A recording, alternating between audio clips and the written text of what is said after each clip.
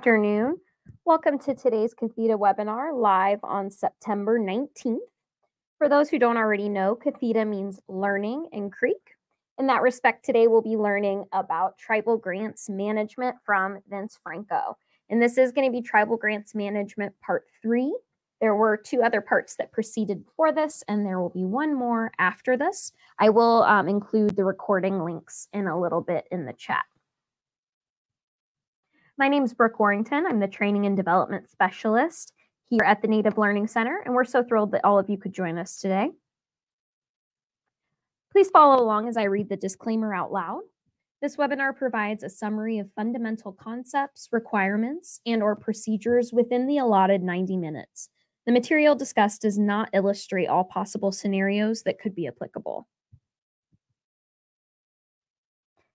Okay, before we get started, I want to familiarize you with some of the features available and how the environment works.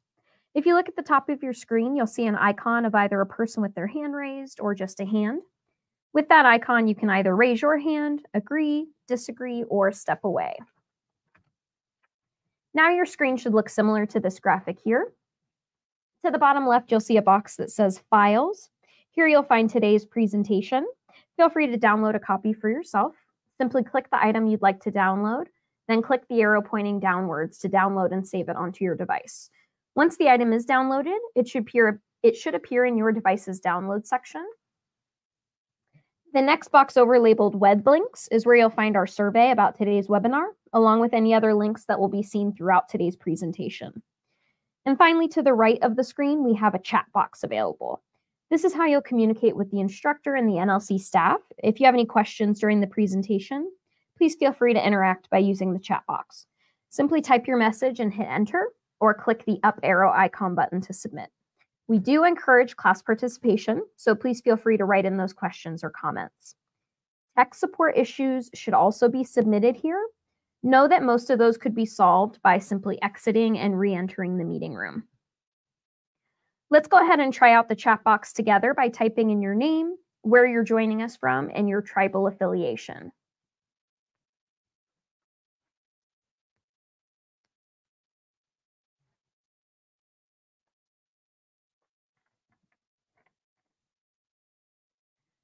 All right, and Vince, I have promoted you once again to host. So hopefully that's working on your end. It is. Okay, perfect. All right, folks, with that, it's with great pleasure that I introduce today's webinar instructor, Vince Franco. And Vince, I'm going to hand it off to you now. All right, thank you, Brooke. Uh, hello, everyone, for, as you can see on the screen, part three of, uh, as, as Brooke had alluded to, uh, grant management under NAHASDA. We met previously, those that are new uh, to uh, this uh, webinar series, we, as she had said, we had two prior session, one two weeks ago on Tuesday, which was an overview. It was titled Part One, uh, Grants Management under NAHASDA. Went over kind of the kind of a summary of, of everything, and then last week was Part Two. And during that session, I uh, did a deep dive into NAHASDA uh, work through and work through all the different components of that legislation because um, just like today and just like next Tuesday when we finish up, if you don't know how to navigate through these through the legislation and through now getting into the regulations today and next week if you don't know how to navigate through if you don't know how to uh, interpret either the the legislative requirements or the uh, the regulations, as we're going to do in just a few minutes, then you're you're really at a disadvantage in, of, of operating or playing any part of a role within the Indian Housing Block Grant. So if you're a recipient of IHBG, which I assume a lot of you are because you're here under the umbrella of NAHASDA. If you're an Indian Housing Block Grant IHBG recipient for your tribe or for your nonprofit or whatever program you're doing, whether you're a dedicated nonprofit, TDHE, or a department of your tribe, you need to have these skill sets to be able to navigate, interpret these regulations and the legislations, and then be able to take it to the next level. And that is to implement internal controls. That's really uh, what today's session and next week's session uh, regarding regulations is all about is being able to put internal controls in place that are in sync with the federal reg- uh, regulations that we're going to go over. Um, so internal controls in the form of policies and procedures. So this is, you know, a lot of this is compliance driven, program driven. We're not really going to get into the financial part of it, but more of the big picture. So today it's all about Native American housing activities, the guidelines, the the inter, if there's any similarity with these regulate, they say they're called guidelines, but they're really they're really regulations. They're written in a way that's more of a question and answer. When we get into it, you'll see it. They're laid out like a question and answer type of scenario, but they really are regulations, just like the regulations we're going to get into next week. In fact, let me move this slide up carefully because this thing is a trigger trigger figure finger uh, approach. What we're going to be doing is in the top right there where it says part three, understanding uh, HUD native HUD's Native American Housing Activities Guidelines. Refer, even though it says guidelines, think of it as regulations. And we are going to go through uh, we'll go through quickly the real bread and butter uh, subparts of the guidelines, which is subpart A, B, C, D, E, and F. There's some additional things in there, but really those first six are what the um, guidelines that are most appropriate for what we need to understand. And that's a little bit of a similarity between what's going to happen next week when we get into the next set of regulations and that is OMB's Uniform Guidance Regulations, sometimes referred to as the uh, 2 CFR Part 200, uh, also known as the Super Circular. That's next week. Today, it's all about 24 CFR Part 1000. That is the Native American Housing Activities Guidelines. So let's let's get into it. I am going to try to keep an eye on the chat box and as uh, Brooke had requested, I see everyone is putting in their, you know, their name and their their tribal affiliation. Greatly appreciate that. I've got people from all across the country. Welcome one and all to part three of four of this training on grants management under NAHASDA. So let's get going. Hopefully, no questions so far. All right. Um, let's take a look at this uh, graphic here 24 CFR Part 1000, also known as Native American Housing Activities.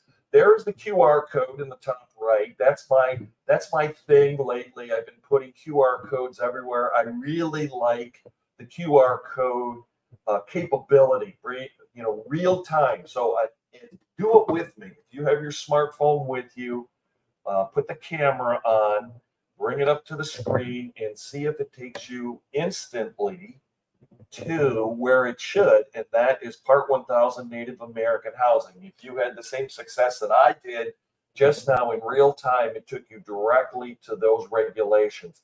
I really think that is uh, a wonderful thing, and I peppered those QR codes throughout this presentation and, of course, next week's presentation with those regulations um, even in different sections of the present of the presentation, not just the overall regulations, but different subgroups. I think it's a great idea. But getting back to what you see in front of you is what I call uh, the compliance pyramid. Uh, and that's exactly what it is. You know, at the very top of the pyramid, if you could, you know, go with, along with me with this, at the top of the pyramid, you've got the legislation, the act. And in our case, it would be the statute of NAHASDA. That would be at the top of the pyramid. Then directly underneath that, the most next prevalent level of control over this program, this uh, low income Native American housing program, are the federal regulations. The 24 CFR Part 1000, which we're doing today, uh, and then followed next week by the next set of regulations the two CFR Part 200 uniform guidance, aka super circular. Uh, NAHA, both NAHASDA and the federal regulations 24 CFR Part 1000 tend not to be changed very often. It's very seldom, not too often, that um, the statute gets changed. NAHASDA, you know, think about it. It was put into place originally under the Clinton administration in 1996. So we're talking, uh, wow, coming up, you know, 25, 26 years later, and it's only been modified about five times, five or six times at best. And those modifications were small. Same thing here with the Native American Housing Activities Program. It doesn't change very often. Thank you very much, right? It doesn't, those regulations don't change. On the other hand, the, the next set of regulations, uh, the, the two CFR Part 200, the uniform guidance, which we'll be looking at next week, has gone through a series of changes, sometimes dramatic, sometimes minimal. Um, you know, it's hard to predict when some of these things are going to happen what we're going to do today doesn't change very often, but hold on to your chair next week because some of those changes are dramatic and a lot what just a little precursor to next week a lot of what happened in the trump administration trickled down into the federal regulations the 2 cfr part 200 so there are a lot of carryover from that administration and and I don't mean to be facetious, but a lot of the panic and a lot of the animosity, uh, you know, of those decisions that were made under that administration were manifested in some of the regulations in the not in not in what we're doing today, but in next week's regulations, 2 CFR Part 200. I'll point those out to you when we go. Some of them make absolutely no sense at all and have no effect on us in operating uh, Indian Housing Block Grant funds or ICDBG or a lot of the other Native American centric fundings that's out there. But, you know, the 2 CFR Part 200 is universal. It applies to any organization that receives federal funds. So it's not just Indian tribes, it's institutions of higher education, it's medical facilities, it's nonprofits, it's churches to some regard, or as they say, uh, faith-based organizations, any organization or group or in, not so much individual, but organization or group that receives federal funding has to abide by those, the two CFR Part 200, which again, next week's discussion. And probably next week in the 90 minutes that we have doesn't do it justice. We need more, more time excuse me, my screen just went blank because uh, I didn't move it fast enough. There we go. Oh, I'm back. All right. Uh, to, and the bottom, to finish up this discussion here, at the bottom of the pyramid, we have all the other regulations, uh, notices, guidances, agency directives, uh, and at, on the as the third tier of information. You know, ONAP and HUD put out a lot of directives on a lot of different issues. They're very, very important. And in the hierarchy, they fall right below the federal regulations that we have to abide by. So we've got all that. And at the very bottom of the pyramid, not so much the bottom, but kind of the foundation of the period uh, of the pyramid is our own tribal rules, protocols that are in place that we have to abide by um, I know when I was with the Seminole Tribe of Florida, they had a lot of their own internal policies and procedures that, in a lot of cases, were more restrictive than the federal guidelines, and that's quite fine. You can any you can do that. You can tighten up federal regulations and make them more restrictive at any time and place. You just can't make them less restrictive. So the foundation there on the bottom, so to speak, tribal laws your own internal controls, which is very, very important, which is there are three uh, pillars, so to speak, to internal controls. Operational processes is the first one. The second one is financial activities. And the third is compliance. So your internal controls need to address all three of those areas and they need to be represented in the form of written policies and procedures. It's difficult, if not impossible, to develop, let alone evaluate or uh, rejuvenate your internal controls, your policies and procedures if you don't understand and know how to navigate and interpret these federal regulations, right? You need to understand the 2 CFR Part 200. You need to thoroughly understand the 24 CFR Part 1000. You need to understand the HOSDA, that legislation and what it means, and all the other moving parts that are affiliated with the with this legislation and with these regulations. And I'll get to that. That's kind of an open-ended statement. I'll explain that as we move along. What are those other moving parts that play, you know, that are outside the pyramid, so to speak, but have influence? One, just to give you a heads up, would be Davis Bacon. Davis Bacon legislation. If you're spending federal funds on construction or housing rehabilitation at the very low threshold of $2,000 or more per year, you're in the realm, and you're using federal funds, you're in the realm of Davis Bacon legislation and prevailing wage. Just let me just put that there right now. We'll get into that a little bit more detail, but that's one of the moving parts that I was referring to, alluding to, that have influence. They're outside the pyramid, so to speak, and they have like a dotted line relationship with the compliance pyramid here but they play a very important part especially if you're you know if you're subject to davis bacon requirements and prevailing wage certified payroll records all of that package okay understanding native american housing activities guidelines 224 cfr part 1000 we're going to go through in this first half here parts a b and c of the six part, A, B, you know through some part F, which is really the bread and butter of these guidelines. There's going to be a lot of graphics and a lot of QR codes. So hold on to your chair here as we go through this stuff. All right. On your screen, you have a couple things. The written verbiage there, written, as I mentioned before, 24 CFR is written in a question answer format. And there's a little block there in green that gives you an example of Part 1000 Native American activity, subpart A. You can see it. It's just a screenshot of, and you're going to see this as we progress through. But if you actually had the document in front of you, this is what it would look like there in that little, in that box taking up half the screen there. And that says subpart A general. And the very, very first uh, 24 CFR Part 1000.1, what is the applicability and scope of these regulations? And then below that, 1000.2, what are the guiding principles in the implementation of the HOSDA? Okay, a couple things to point out here. Yes, it's written in a question and answer format.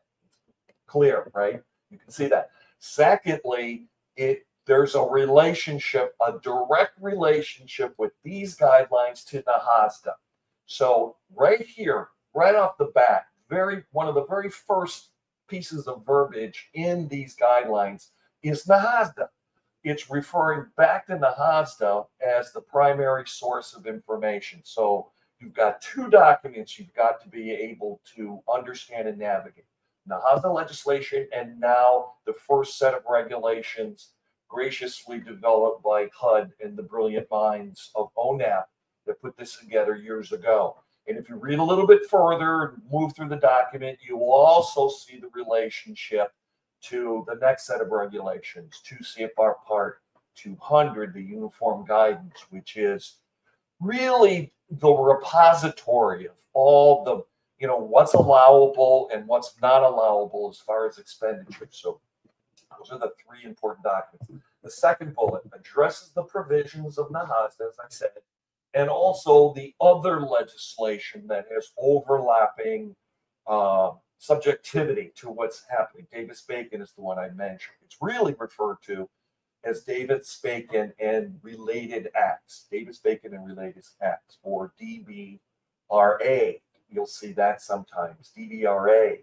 Um, and just know that DBRA, Davis Bacon and uh, related acts, just had, I mean, just had a revision that came out earlier this month, literally, or the tail end of August, came out with updates on small, numerous small changes to Davis Bacon that I don't think, in my professional opinion, really don't have a whole lot of influence over our day to day operations in dealing with Davis Bacon and prevailing wage. But nevertheless, we do need to understand what they are. Okay. Addresses that this regulation talks specifically about NAHASDA and about Davis Bacon legislation. So there's a third, actually a fourth uh, document that we need to have a good understanding of Davis Bacon legislation. Okay. Provides guide the third book provides guidelines to the implementation to implement the requirements of the IHBG And there, grab your phone again, like I'm going to do. Make sure that link is working properly. That QR code, it should take you to HUD, specifically to IHBG. It takes you to the HUD website and takes you directly to the Indian Housing Block Grants. That's great. Again, that's why I like the QR codes. And then the bottom left to finish out should be the QR code that takes you directly to the federal regulations. With both of these, especially with the bottom left, with those regs coming up next week's conversation, the uniform guidance, I strongly, and being a compliance director for over 11 years with the Native Learning Center, trust me, you really need, if you haven't, you really need to take advantage of these QR codes while they're available and or the websites that Brooke is putting up there for your convenience. Go to these sites either through the QR code or through the website link and find them, download them, not just to your phone, but to your desktop, uh, to your laptop, to your working device, your work device, and if you feel inclined to do it, like I do, I have both electronic and hard copy. I print them out too. I literally, as we're speaking here, I have the uh, 24 CFR Part 1000, a couple different versions of it in hard copy in front of me. I have two versions that I want to recommend. One is the version that is available in what's referred to as the Federal Register If you've never heard that phrase before, that is the federal government's go to document uh, for regulations. Uh, there's some pros and some cons to the Federal Register. I mean, the, the, the pro is that everything is there. Um, and the government is usually pretty good at getting these, or OMB in this case is pretty good with getting these this information available. So you can look it up that way. You can go to the Federal Register. The, the bad side or the con of the Federal Register is it's difficult to read.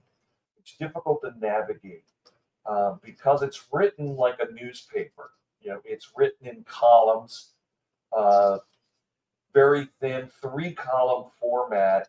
You know, and it's difficult. You got to read from top left to top bottom, and then scroll back up to the top so if you're looking at it on a computer screen, it can drive you a little crazy because it's a little bit hard to follow. I recommend that you go to a website for any federal document called, it's an electronic site, an online site, ecfr.gov.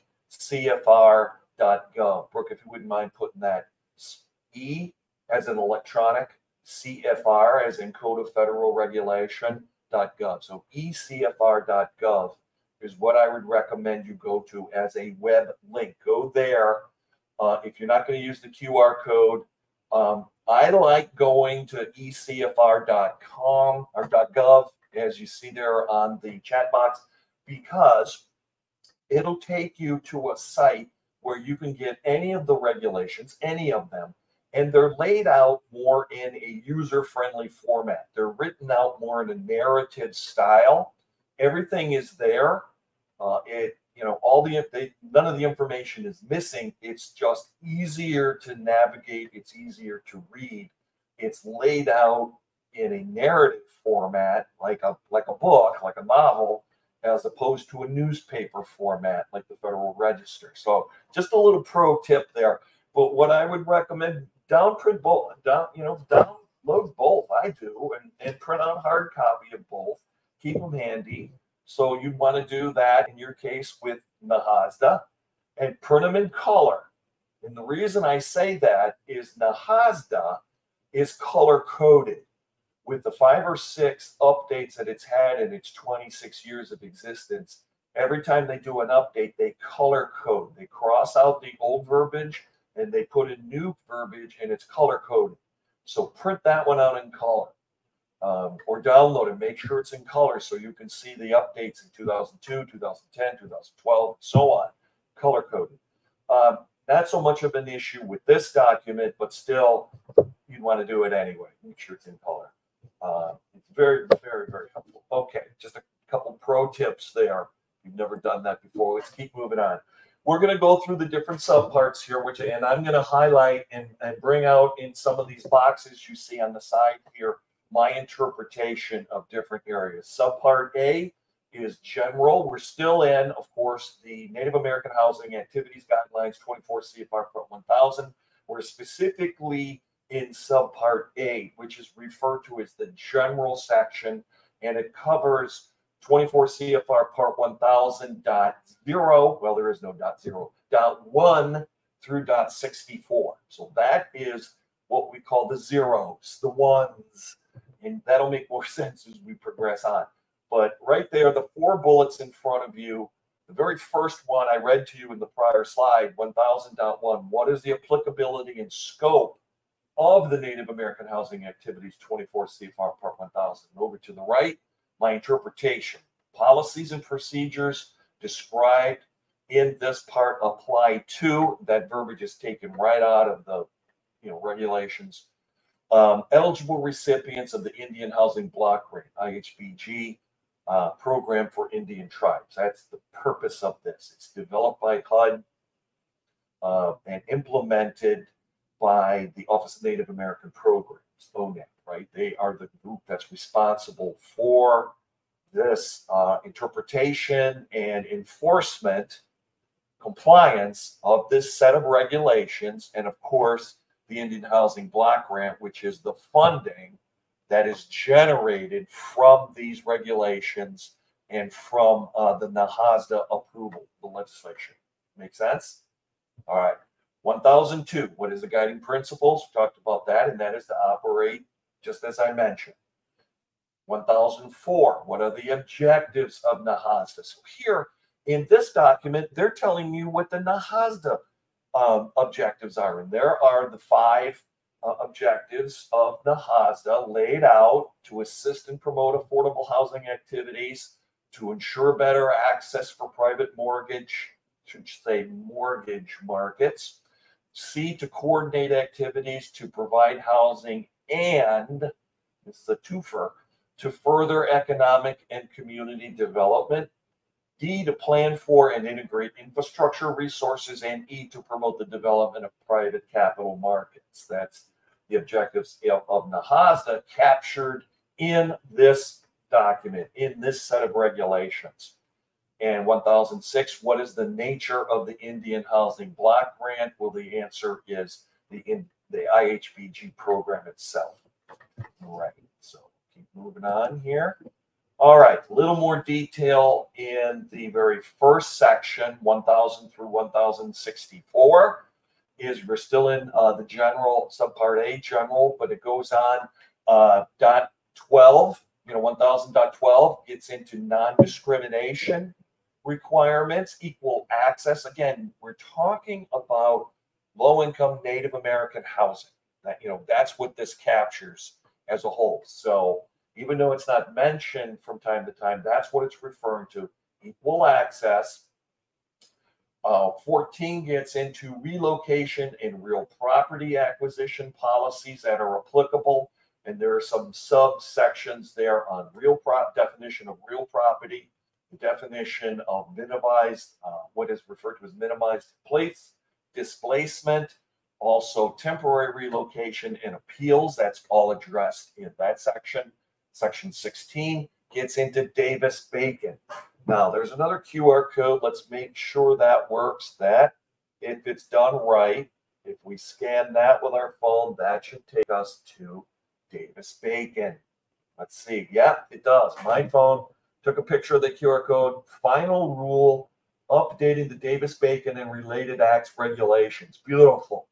That is what we want. And then you scroll down. If you're seeing what I see, you should be able to scroll down a bit where it says additional information. It says final rule updating the Davis Bacon. You can click on that link and it takes you to, well, it takes you to ecfr.gov, which is the, as I mentioned before, the repository of all the federal regulations. So um, if you plan to do use your Indian housing block grant or use any funding, actually, any federal funding for construction or rehabilitation of homes or buildings or multimedia facility or infrastructure or anything that's bricks or mortar or heavy highway, you are falling into the realm of Davis Bacon. And 1000.116 talks about the mandatory requirements of uh, Davis Bacon requirements for labor. It gets into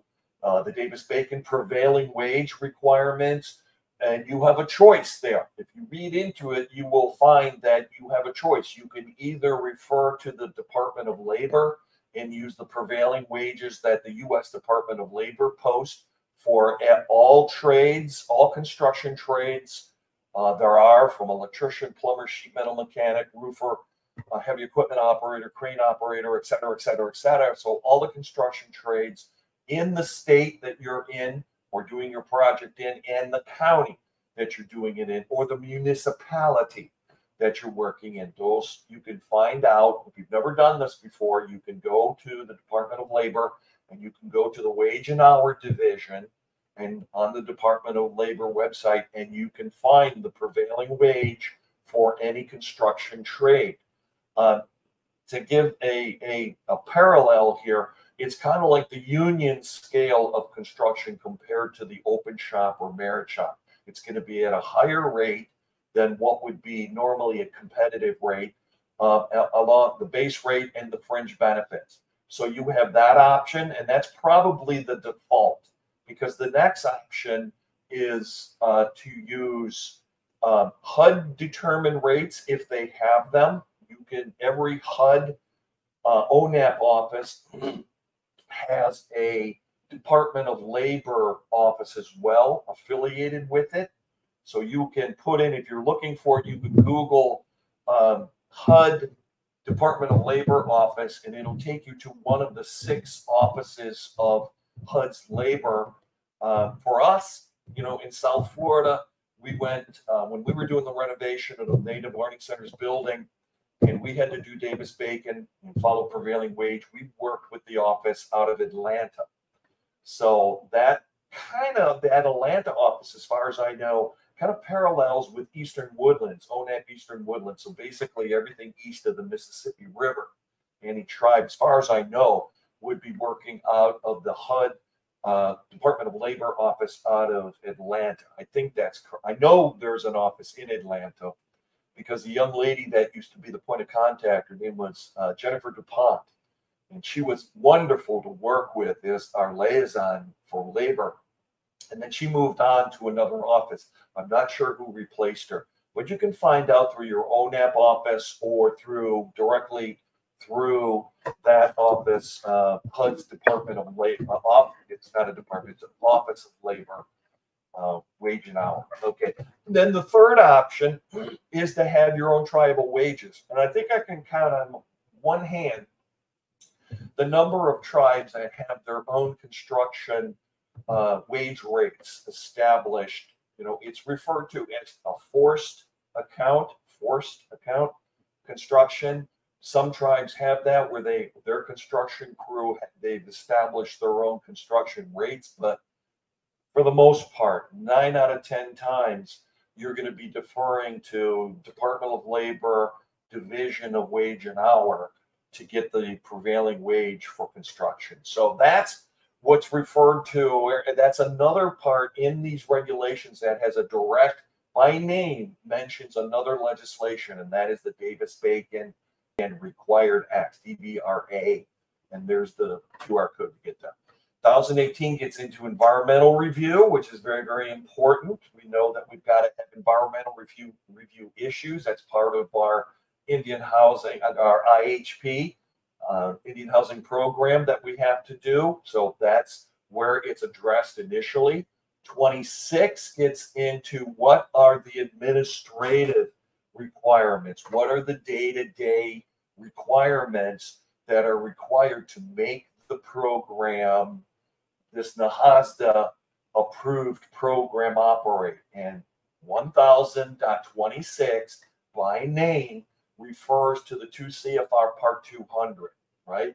So it's right here's your third, your fourth actually, fourth overlapping um, document or process that is included. We've got the NAHASDA legislation at the high end, you know, the, the act itself, the statute, which names, you know, certain things. And then we've got this, these guidelines here presented by uh, ONAP, uh, by HUD and ONAP, the uh, Native American Housing Activities, that mention Davis Bacon by name and they mention the uniform guidance by name. So you see the four connecting players here one legislative, two uh, two legislative actually, NAHASDA and Davis Bacon, and then two sets of federal regulations underneath that, just to get Indian Housing Block Grant, you know, going and you know up and running and running efficiently. We've got to be able to understand, navigate, and interpret these legislative acts and these regulations because they're named specifically each other each program here names the other program as part of the you know intertwined connection between all of this all right to move on 30 through 34 1000 we're still in subpart a gets into conflict of interest there's four separate comments in the guidelines on conflict of interest which is important you know it has to be in our internal controls and here is the start the, the starting uh, information on conflict of interest. So I would implore you to take a closer look at what uh, this regulation has that has to say about conflict of interest. The next one is 1000.36. How long must recipients retain records? The recipient is you as the Indian Housing Block Grant recipient. This is mentioned here and it's also mentioned in the uniform guidance. And both documents refer to three years. Okay. So the federal regulations, it states that we must obtain all of our operational, financial, and compliance records for a minimum of three years. Personally, best practice wise, I would recommend a much longer period of retention than three years, just from personal experience. You know, having a higher authority come into your operation and ask for records from seven, eight, nine years ago, you don't want to tell the higher authority, whoever it or whatever it may be, you know, tribal council or uh, Office of Attorney General or some other high end government agency, you don't want to be able to tell them you no longer have those records, that they've been destroyed. Uh, no. Uh, so, my recommendation, whether you keep hard, actually, two issues here. One is keeping the records longer than three years. Three years is the letter of the law, but it's not a practical one. This was developed years ago. Now you need to retain records much more, much longer. Secondly, in today's society, both business society and personal society, uh, we need to transfer all of our old school hard copy records into electronic versions. A lot of pressure is being put on federal agencies, let alone recipients of federal funding like us. A lot of pressure is being put on them by higher authorities to move everything to a digital format. Everything is becoming data driven. Look at the Indian Housing uh, Program, the IHP report that's done every year by recipients of the Indian Housing Block Grant. It moves from a Word document to an Excel sheet to an on, you know, to uh, an online form, fillable, uh, fillable PDF.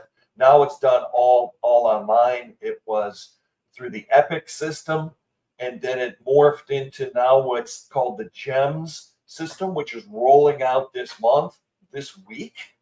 It's rolling out the new GEMS program uh, for online, you know, an online process for your IHP and your APR reports that have to be done, and that so everything is moving more and more data driven. So that's another reason to keep retaining records, moving towards electronic data records and longer retention period of times. And if they're electronic, it's a little, I think it'd be a little bit easy. Well, it might not be easier, but you know, you still got an IT issue there.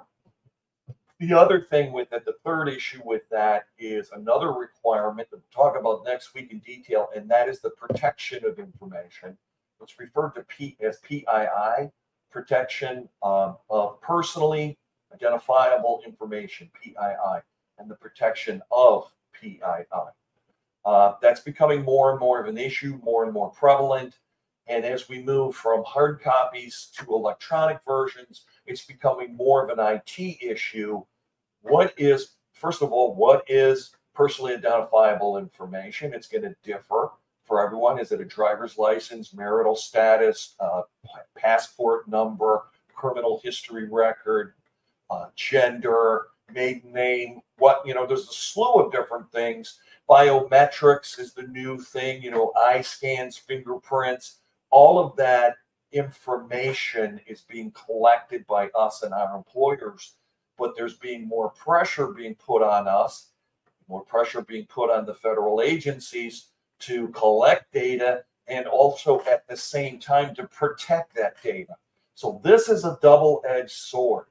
Move from hard copy to electronic, keep the records longer electronically, and at the same time, work with our IT people to come up with creative ways to protect that information. Do you see where this is going? This is more than just a little blurb on a screen here. This whole issue about retainage of records, protection of records, uh, is becoming more and more of an issue because the federal government is, and this is also a trickle down, a carryover from the Trump administration, more and more focus on fraud and identity theft and risk, risk, risk in all those areas, minimizing risk moving towards data gathering and data functions. This is all part of a big package that we need to uh, understand as we're doing our operations. Because I'll tell you, when the auditors come in, when the program reviewers come in, when people like myself come in who've been in this game for a while, they're going to be looking for these kind of things your electronic data, your record retention, your protection of personally identifiable information and what is it in your case. At the Native Learning Center, as part of the Seminole Tribe of Florida, we were moving towards biometric scanning. We had what was called the Kronos system, and all of HR was incorporated into this Kronos system. It was a biometric system where you would plug in a four digit employee ID number and put your finger on it to identify a fingerprint, which would link the two together to identify you as an employee of the tribe. And with that was all of your human resource records. So if you wanted to request time off, vacation time, leave time, sick time, it had to flow through that system. That is PII. It is biometric PII because it was doing fingerprint scanning in our case now it's elevated even more, not so much with the tribe, but in different areas. If you've ever gone flying these days, I'm going to be going out tomorrow. I'm flying on Delta. I use what's called the CLEAR system, which is more, it's a step above TSA uh, pre check. It's a biometric system where they scan your eye, your retina of your eye, and that is the same as a fingerprint process at an elevated level. And all of my information is contained in that. So we're moving at lightning speed here, and we need to be aware of it and think about this because regulations are being developed behind the scenes. I would not be surprised if some of those regulations that I'm talking about here, actually, I jumped ahead, didn't I? Uh, to be right here, if uh, 1026 uh, and one, uh, 36, I'm sorry, that is much bigger. It, it includes biometrics, it includes PII, retainage of records. It's much, much more than that. And it's going to be, you're going to see this. It's, it's referred to in here in these regulations. But when we get together next week and we talk about the uniform guidance regulations, there's much, much more detail and much more requirements. Here, we're just broaching the subject. Next week, we have requirements that we have to meet. All right, so more detail. All right, and 48 through 54 at the bottom of the screen there talks about Indian and tribal preference, that that is acceptable. It's acceptable. It's mentioned in NAHASDA, and here it's mentioned here in these regulations, and it also uh, crosses over into the next set of regulations, the uniform guidance. So that is subpart A, general. Now we're going to get into the 100s, right?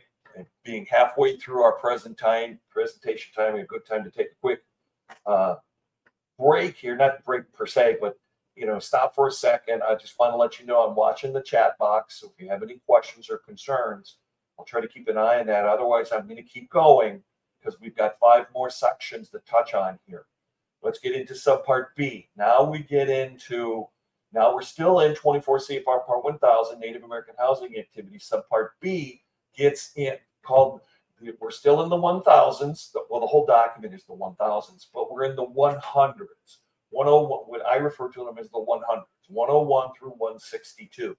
And it's specific uh, on uh, affordable housing activities. It covers, as the bullets indicate, their regulations and amendments to implement affordable housing activities, low income Native American housing activities to be specific, eligible activities, eligible beneficiaries, cost and payment limits, and existing housing stocks. It addresses all those issues, but as you can imagine, not in a whole lot of detail. You know, again, kind of a, a, a high view looking down.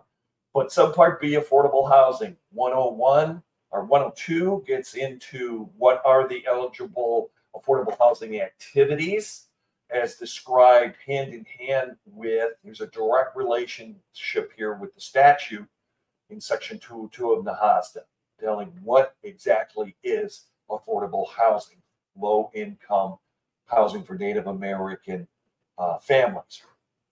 103 gets into how may the Indian Housing Block Grant funds be used for tenant and project based rental assistance. And it gets into the definition of what rental assistance is as defined by the federal guidelines. So you need to be familiar with that. 104 gets into the definition of what constitutes low income. You know, what is the percentage of the metropolitan? You know, there's a whole formula that they use to calculate low income, medium income, uh, high income, and percentages based on metropolitan census statistics. It's all defined in 104 and something you need to be familiar with. 106 through 108 gets into what families receiving assistance under Title II of NAHASDA require HUD approval. Title II is NAHASDA, so that's kind of redundant. What families receiving assistance under NAHASDA require or are eligible for HUD approval. And then it gets into, again, this supports 104, gets into more verbiage on low in, uh, non low income families as opposed to section 104 that gets into low income. So it's talking about the difference between the two. They they work it, they they supplement each other. Uh, 110 gets into under what conditions may low income Indian families participate. And 120 gets into may a recipient use Indian preference. The recipient is you. You are the recipient of federal funding. So when you see the phrase recipient, uh, it means the recipient of federal funding. Another phrase for it is an NFE, capital N, capital F, capital E, which means non federal entity. We see that phrase used a lot in this document and in the next one. NFE or recipient. Uh, may a recipient use Indian preference or tribal preference in selecting families for housing? Short answer, yes. You want to read through it, make sure you're not missing anything. And of course, of course, of course, you're going to have to have internal controls, policies, and procedures in place that define how it works within your system. So whether not just for housing that we're talking about today, but anywhere, anywhere you you know you have procurement or hiring practices, uh, you're a tribal entity, Indian preference can be a, can be applicable to all of those, or contractual situations with a general contractor or any procurement. So not just here in housing, but across the board. But here, this regulation 1120 talks about how it relates to in housing selection. All right, that's B. C gets into the IHP. Now we're in the 200s, as I refer to them, the 200s, dedicated to the Indian housing plan. If there's one thing that I alluded to before, if there's one document along with the APR, one document that has morphed over time, it is the IHP, because that's the one document that has gone through this uh, change metamorphosis of data drivenness, if that's a phrase. You know, that's where this whole concept of data driven, data reporting, data gathering, and the focus moving away from narrative style to more data driven information. Um, that's where that's where the most change is occurring in this section. Indian Housing Plan IHP from 201 to 246, so 45 different uh, issues in here on the preparation, submission, and review of the IHP. I don't think there's any surprises in this section. Uh, NAHASDA requires that a tribe submit IHP prior to the receipt of their IHBG funds. What they don't tell you is sometimes the funding is not there. And I, I don't know if you've gone through this, but we've certainly, when I was with um, the tribe, we certainly did experience this from time to time that you'd submit the IHP, you know, on whatever system they were using at the time, submit it. And, you know, it was always a hurry up and wait. You submit it and then you wait for the ONAP office to review. And then you get acknowledgement back from the ONAP office that, uh, you know, they reviewed your IHP and it has been, you know, accepted and approved by the ONAP office. And then here's where it gets a little sketchy. Usually the next sentence that comes is your award will be X amount of dollars, whatever you're entitled to, right? That whole formula, that uh, IHBG formula, that 10 page formula that we all have to go through. So your reward will be X amount of dollars. It's the back end of that sentence that's scary. However, it'll say something like to paraphrase, However, Congress has not approved the appropriation for NAHASDA or for the Indian Housing Block Grant. So until that has occurred, there will be, you are unable to uh, download funds from the eLOCCS system, the electronic lock system where we're able to draw down our funds, usually as a reimbursement after the fact that we've spent them. So in in for all practical purposes, we're in limbo, waiting for the approval to occur, the appropriations to be approved at a much higher level, at a congressional level, so that HUD can receive its funding and ONAP in return can get the approval to tell its tribes within its service area to actually move forward with uh, you know, with their drawdowns. Now, usually this occurs in like August. You know, if you're on a fiscal year of October 1 through September 30th, like we were, we were getting this letter usually in mid and late August. It would send, you know, turn our blood cold, of course, when you get a letter like that. It's a double edged sword. Yay, we got approval of our IHP, but oh, oh my God, you know, they haven't been approved for the funding. So in the meanwhile, we plan and we wait and we you know, we, work on logistics and we wait. And hopefully before October 1st comes, uh, the approval will occur and we can move forward. But, you know, you don't know from time to time. And every once in a while you hear about, uh, you know, budget limits and the Congress has not approved the budget for the next year. We've got to raise the debt ceiling. I think we were just going through that a little bit a, a month or so ago, and that always, you know, was a problem. Uh, you know, the economy shutting down, everything shutting down, all federal employees going home, every all federal funding stopping. Oh my gosh, you know, that happened a few years back. But anyway, that's part of the process. That's part of the growing pains. Uh, it doesn't, you know, that scenario that I just told you is not not embedded in the in subpart C. You you find that through personal experience. Here they talk about the submission process. Uh, here we go. Yep. This is where this is subpart C, the one hundred, the two hundreds. There on the right, just so you have it, is the QR code for the new GEMS program, and there is the link. Thank you very much, Brooke, for putting uh, the, the link there so you can go to it that way or you can download it through the QR.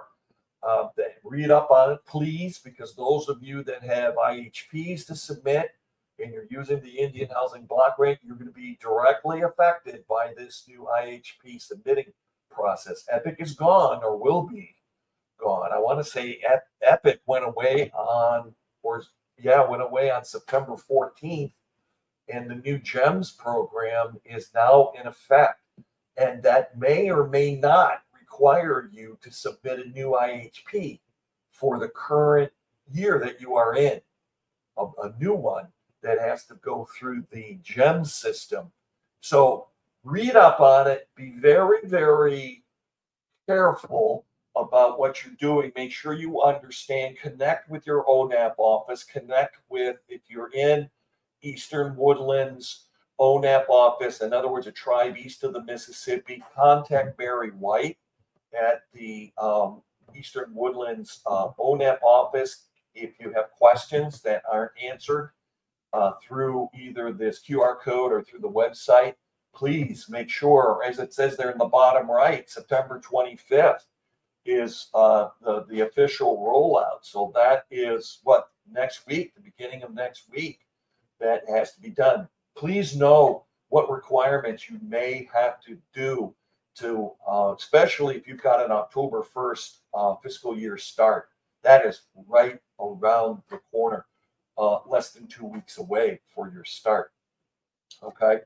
All right, 200 201 gets into funds available through NAHASDA, IHP related to affordable housing. So again, here we're going back and forth between references between NAHASDA uh, 202, who are the eligible recipients? That is you, as in tribes or TDHEs, tribally determined housing entities, uh, housing departments, and other um, nonprofit organizations that receive IHBG uh, funding. 206 gets into specifically gets into the TDHE and what it is and how it became how it is created. So if you're interested in starting a TDHE or you want to know where it came from or a little history or the mechanics of it, this is where you can go to as a start. Reference uh, 1202 and 206, actually, 206. 212 gets into is submission of an IHP required? Short answer is yes, but then it gives more detail about the IHP, you know, from a broad perspective you really want to go to the GEMS link that I was talking about a moment ago to get more information on the IHP and to make sure, doubly sure, I'm out of the game. I don't submit the IHP anymore or its APR cousin anymore. So you want to make sure you understand if anything is actually changed on the not just the submitting, not just going through GEMS as opposed to Epic, but make sure the questions and the issues are the same. You know, have they changed the question? Is the layout the same? Do you provide the same information? I I think we're all on the same page, not to dwell on it too much, but all on the same page that they did change during the epic, the epic era. the epic, the time of the epic, they changed the DUNS number. If you're familiar, every entity that receives federal funding needs to have a DUNS number.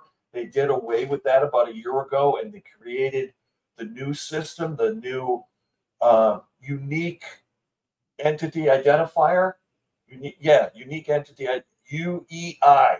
UEI replaced the DUNS, unique entity identifier replaced the DUNS. And during that transition, there was a little bit of a snafu, a little bit of a problem because the IHP using the EPIC system did not have a fillable area to fill out where to put your, it was programmed for the DUNS and not for the UEI, which is a different number and a different format, different structure.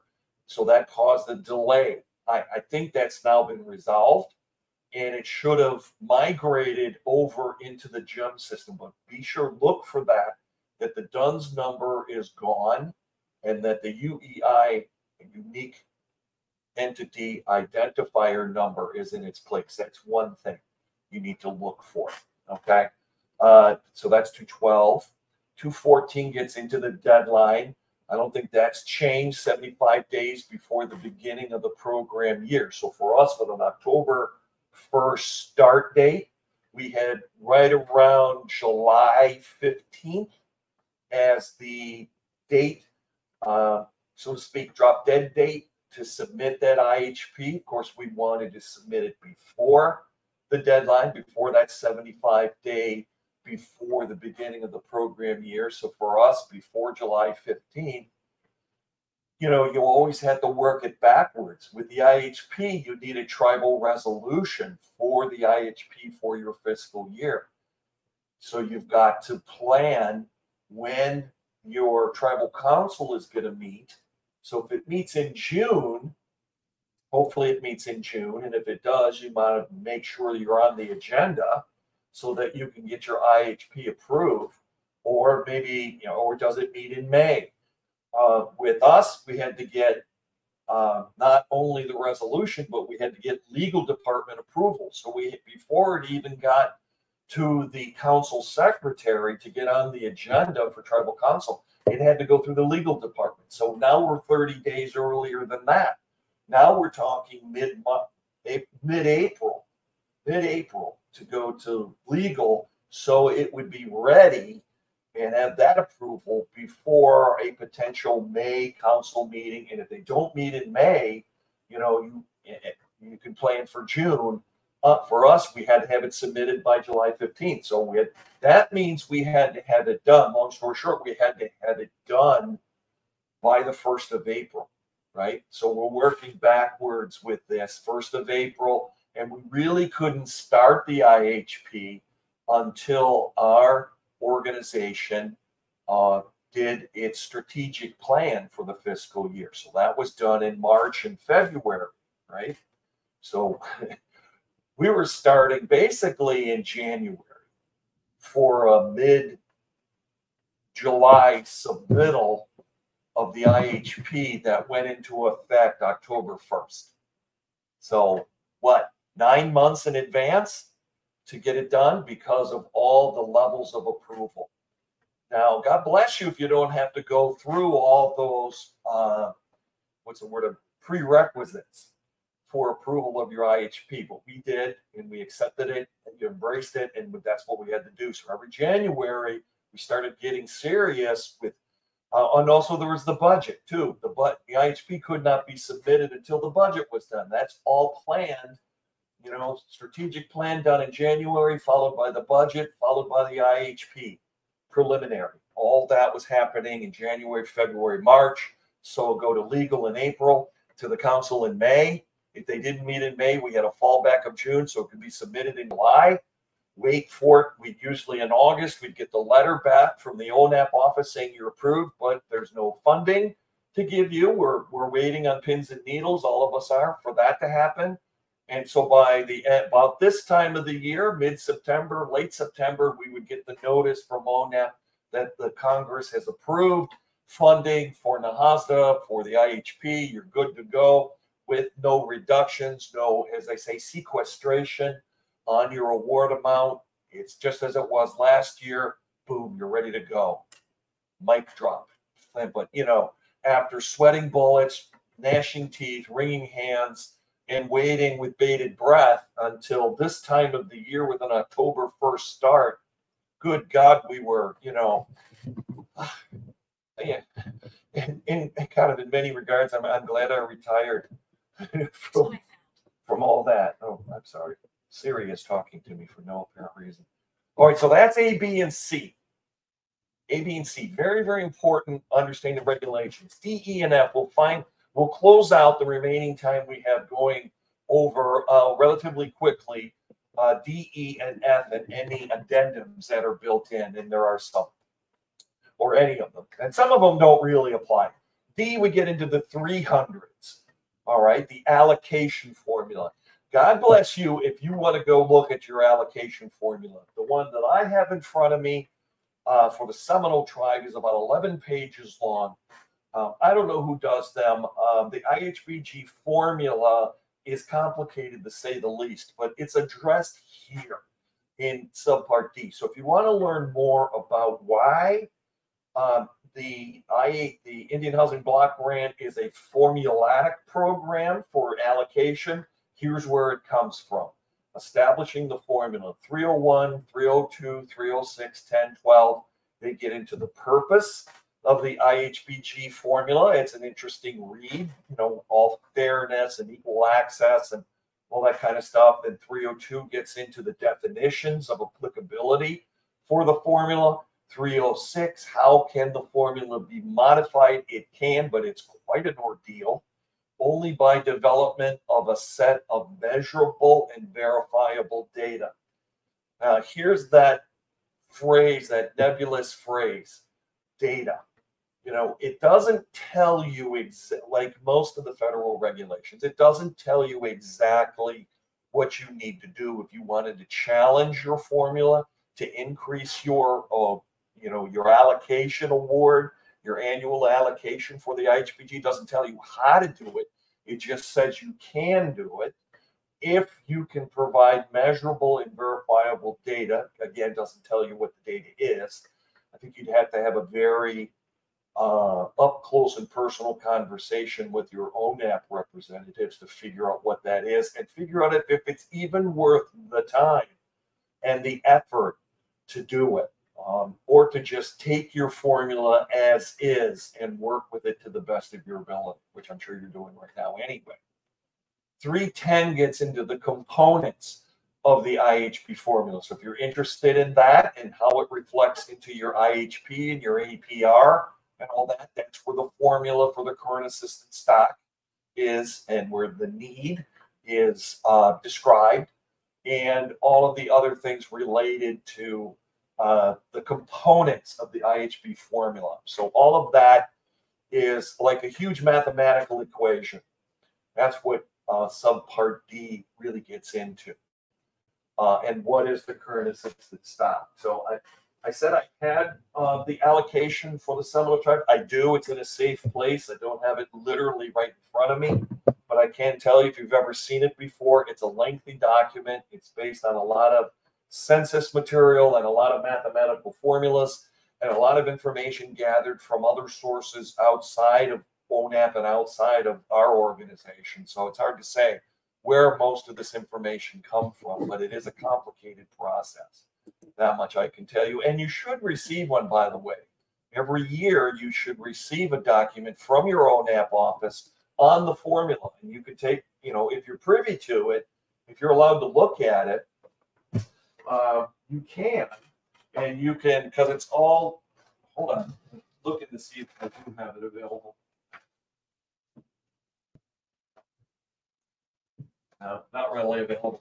You can look at it. It's several pages long. I thought I had it within arm's reach, but I apologize, I don't. So we're gonna have to move on with that. Um, subpart E gets into the federal guarantees for financial tribal housing, the 400s, as I refer to, terms and conditions by which HUD will guarantee the obligations issued by a recipient for the purpose of financing uh, eligible affordable Native American housing activities. 401 gets into terms Uh, of this subpart four gets into what lenders are eligible to participate, some details on lenders for loans approved under chapter 37 all kinds of information there. For 10, what conditions shall HUD prescribe when providing a guarantee for uh, loan notes other than obligations issued by the uh, Indian tribe? So if you get into this, if you had all any interest in this, this is where you can get into information along with 422 uh, loan guarantees under Title 6 of the relationship with NAHASDA. So that's the 400 on federal guarantees.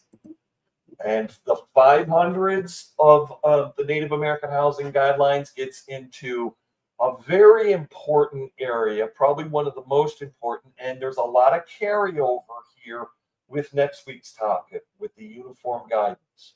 And that is monitoring, compliance, oversight, and accountability the 500 is one of the most important sections in here from a grant management standpoint. Monitoring of compliance, performance report, HUD and tribal reviews, audits, remedies for non-compliance. That last phrase we hope is a phrase that you will never hear in your organization, non-compliance. So it behooves you to understand the parameters in this section 501 gets into monitoring activities of the recipient, you. Uh, more details on this next week when we get into a much more defined description of what monitoring activities, what constitutes a monitoring activity. I can tell you when it comes to monitoring of housing activities that HUD provides a template. If you go to HUD, go to their website. Oh, you would think I'd have a QR code here, and I don't. I apologize. Unless I have one in the next slide. Let me jump in. No, I don't. So I apologize. You can, in lack of that, you can go to the HUD website and um, you can do one of two things. From there, you can go to the ONAP link, go there, or in their search bar, once you get to HUD site, you can go to what's called uh, the self monitoring checklist.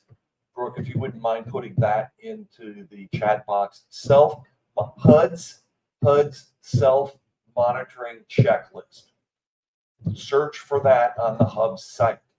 You want to make sure that you get HUD's version of it, ONAP's version of it, because it's going to be related to housing, to Native American housing activities. What you'll find when you do that is um, kind of overwhelming. There is 11 different, there are, I'm sorry, 11 different subsections of the checklist with everything from operations to compliance to housing itself to lead paint in housing, believe it or not. It's one of the things that you, you can identify. There's a whole series of checklists. Um, so there's 11 of them. And the nice thing about it, and this is what we did at the Native Learning Center, you can pick and choose from those 11 and you can pick and choose the the um, the the the items that are contained in the uh, in the document itself and create your own self-monitoring checklist which i strongly suggest that you do. Create your own internal self-monitoring checklist that uses the questions contained in HUD's, ONAP's uh, self-monitoring checklist or series of checklists like we did.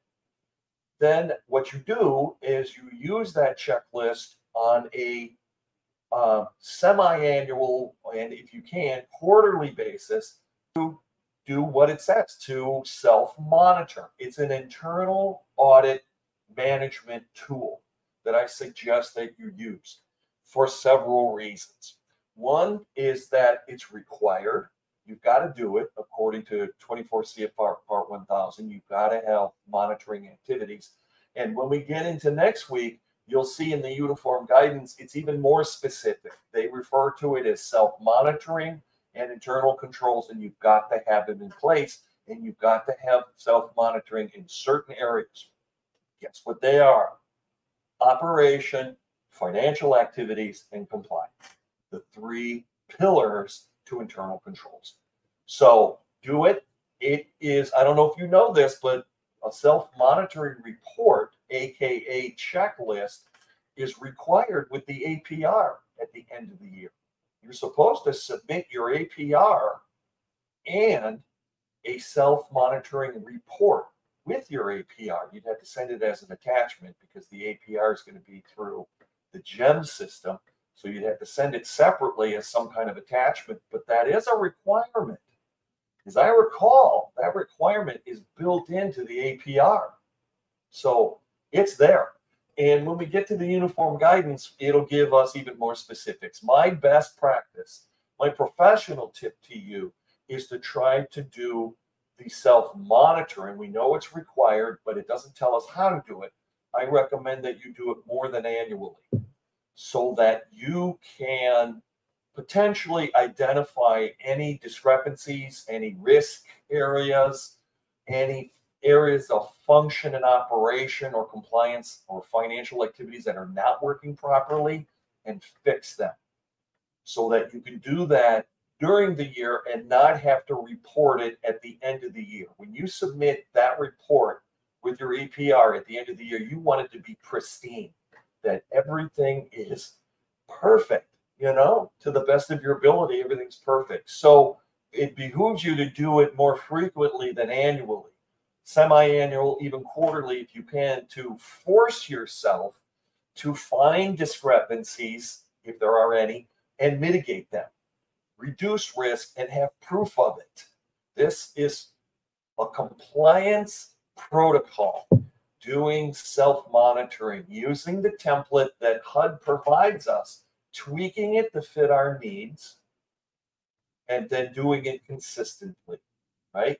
That's what we do. And that so we're meeting all the federal and exceeding the federal regulations in two ways, two different sets of federal regulations.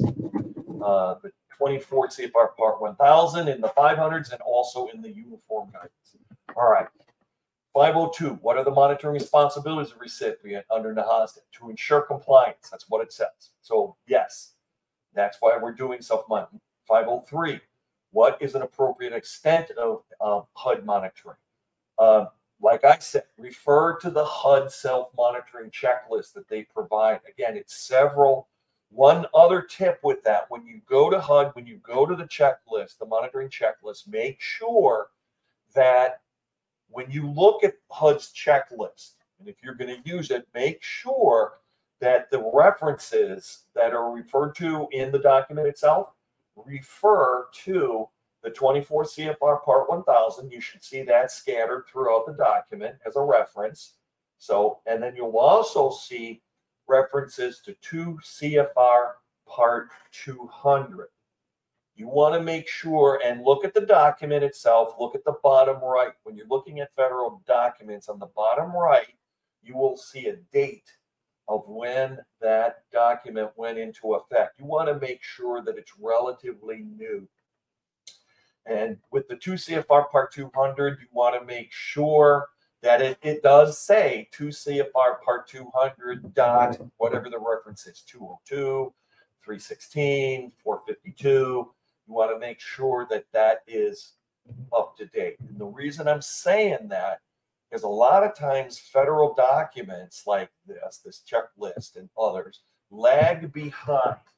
They lag behind the federal regulations. The uniform guidance, as I mentioned, is being updated on a regular basis, but not and this isn't HUD's fault. A lot of the federal agencies are this way. a lot of their documents that they provide, with the exception of the GEMS program, a lot of their paper documents that we download are dated. And we want to make sure you look for that to make sure you've got the most up to date version. And if it's not, if it seems to be an old version, reach out to your ONAP office and point that out to them so that they're aware of it and you know I look for that. I look for discrepancies, especially when the their checklist was referring to old time regulations that are obsolete. The 2 CFR Part 200 that we're going to be talking about next week has changed and it's gone, it's in its seventh generation. So it, if you see references, I would recognize them immediately of old regulations that are referenced. I would not use that document and I would refer, I'd go back to the HUD office, the ONAP office and say, this is obsolete. It's dangerously obsolete because it's going to put our grant recipients in a position that they think this is an accurate reference when it's not. Things have changed. We'll go through that next week. Thresholds have changed, dollar amounts have changed. Some things that are allowable that are now not allowable, that's all changed. So we want to make sure you, have got up to date information. All right, what is the appropriate extent? We did that. Uh, our performance reports required? Yes in with, not in the APR, but with the APR. My suggestion, as I mentioned earlier, do it internally more frequently. An internal document, you're self-monitoring at the end of quarter one, at the end of quarter two, at the end of quarter three.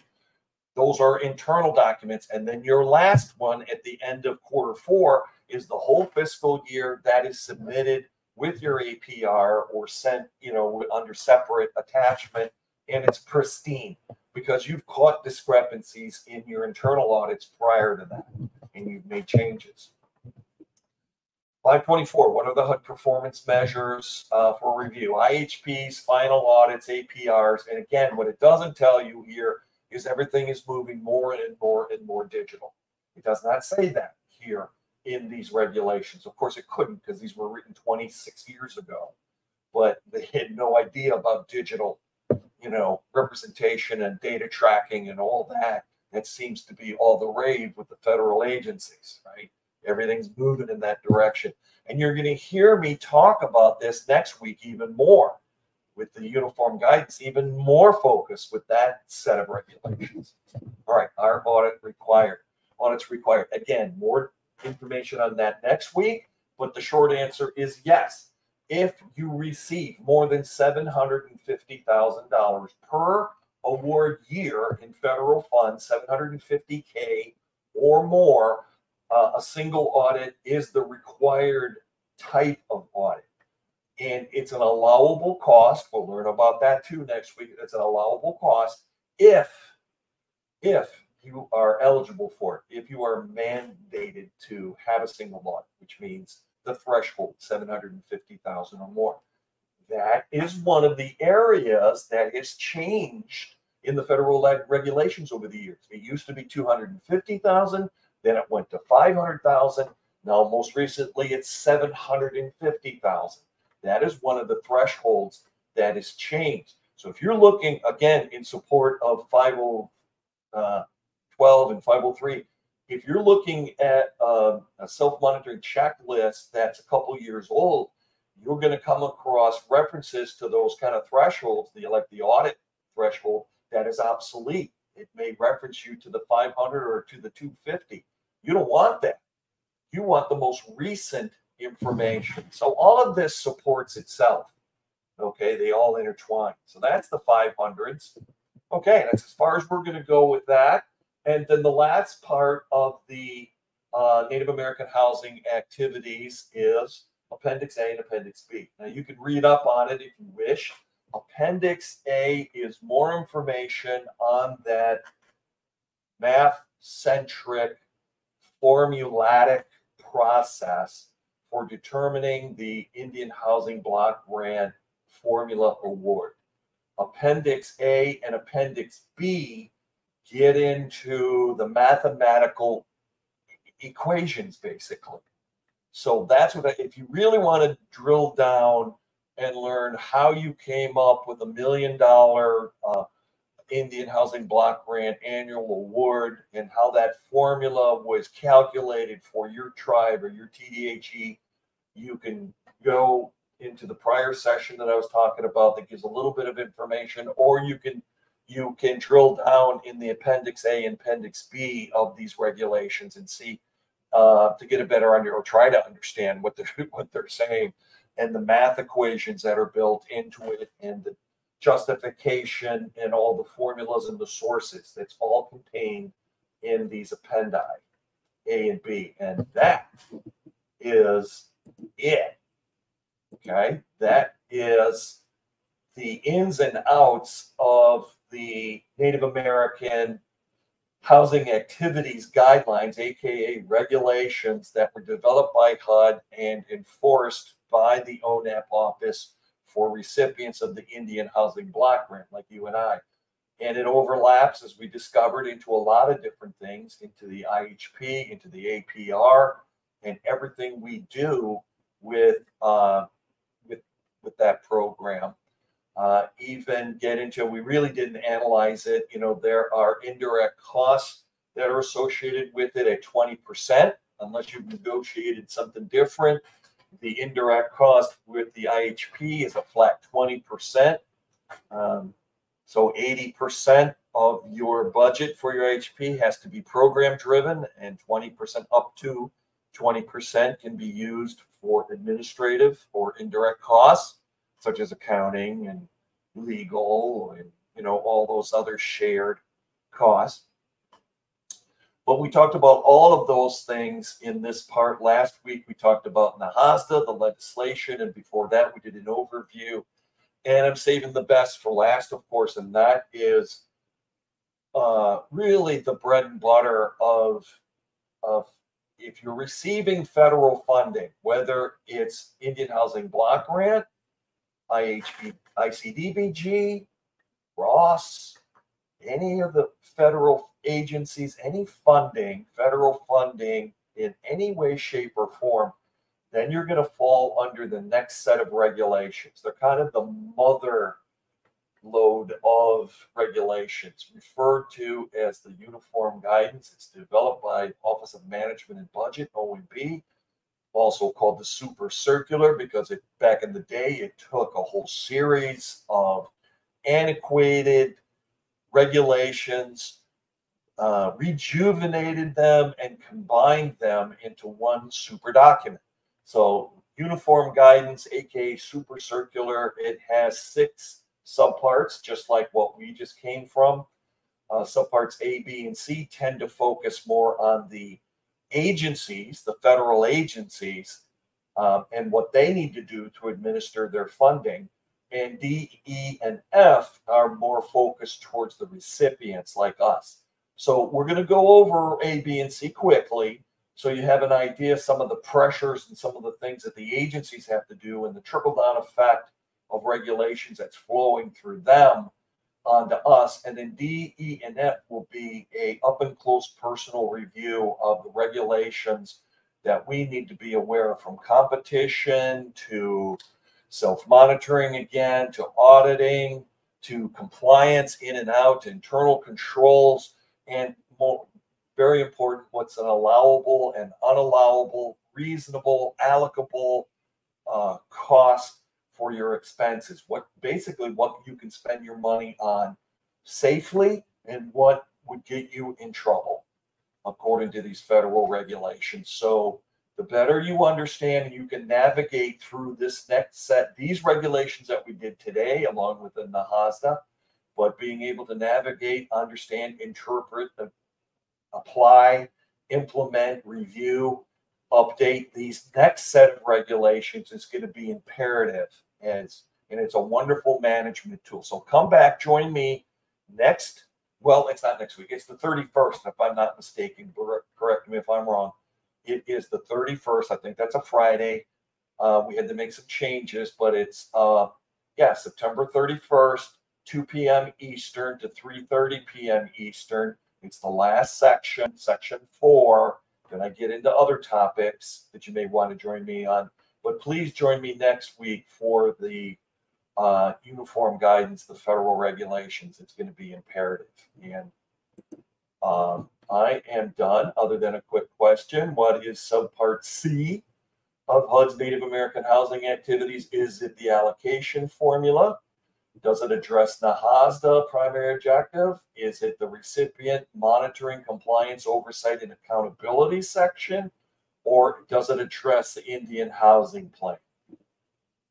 Now, for lack of time, it addresses the Indian housing plan. Subpart C of HUD of these regulations is Indian housing plan. All of these sections are important, all of them in these. You need to understand what the federal regulations are, what HUD's regulations are, to be able to do your part to protect the program that you're involved with, to operate efficiently and effectively, plan for the future, you know, help the program grow, understand the requirements, and help educate educate others. It's kind of what we're doing today. So I'm done. I'm going to kick it back over to Brooke uh, to close out. We're at the bottom, exactly at the bottom of the hour. She has one or two minutes here to talk to close it out. Thank you, everyone. I hope to see you all for my next session on the 31st of this month. See you later. Thank you. Thank you so much, Vince, for your time and effort with this. I know I certainly learned a lot. Um, just to clarify for everybody, Tribal Grants Management Part 4 is actually happening on Friday, September 29th. So you're you're right about Friday, but it is actually September 29th is the actual date. So Um, sorry. I said the Oh, no worries at all. I do ask that everybody complete today's survey. I'm launching it for you now.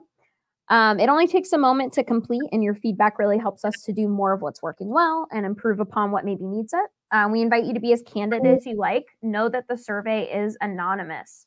So if you do need to give us some critiques, that is just fine, but it'll also give us the opportunity to give Vince some of the glowing praise I'm sure you'll have to give. Um, we hope you join us for our next webinar that's happening next week on September 26th. That'll be Tribal Housing Professionalism, Resume Skills Part 1. This is going to be a three part series that takes place uh, September 26th, the 27th, and the 28th. And it's all about tribal housing professionalism. And then on the 29th, that Friday, is when um, Tribal Grants Management will wrap up. Uh, we hope you can join us. As you can see, registration is free, and these are the starting times for all the different time zones. Um, feel free to access this and any other recorded webinars online on our website, nativelearningcenter.com. We have a Kerretv webinars tab featuring a recorded webinars section. So you can click on any of the webinars that we've done for the past two years. Feel free to view them, share them with your friends and colleagues. And also, please check out our upcoming events posted to our various social media. We're on Facebook, Instagram, Twitter, and LinkedIn. We even have a podcast titled Hoporenkv Native American Podcast, where we discuss focused topics within tribal housing and self determination. You can listen on Simplecast, Google Podcasts, Spotify, and Apple Podcasts, as well as viewing the video recordings with our guests on YouTube. All right. Once again, I want to thank everybody for joining us today. I hope everybody has a wonderful rest of your day, and we hope to connect with you real soon. I'm going to go ahead and stop the recording.